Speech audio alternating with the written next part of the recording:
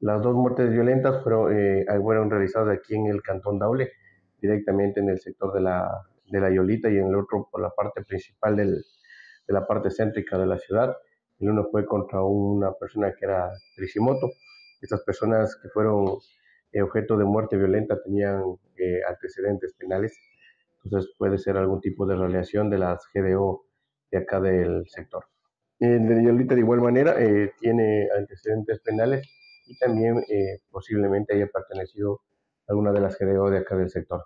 Tenemos como persona fallecida actualmente al señor Espinosa Jiménez, el cual tiene cinco impactos de arma de fuego y también víctima colateral eh, por una herida a la altura de su pecho y hombro.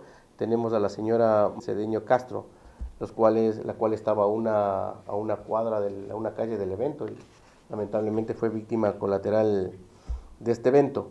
Ese es Juan Bautista Aguirre. Ese es de Juan Bautista Aguirre. Y de ahí tenemos el, la segunda persona, específicamente en el sector de Patria Nueva, Iguave Alvarado, el cual tenía eh, dos impactos en, el, en, su humanidad.